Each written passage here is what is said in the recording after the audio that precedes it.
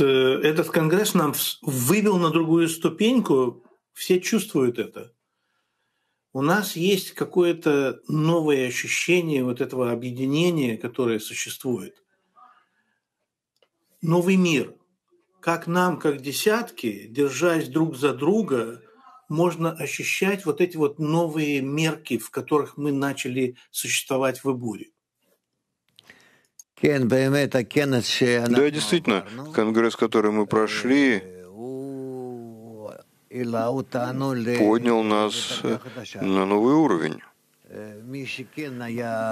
Кто присутствовал в нем и участвовал как следует, что нам надо делать? Нам надо идти в объединении, все более и более усиливающимся, и так мы придем к тому, что написано об уровне Ибур.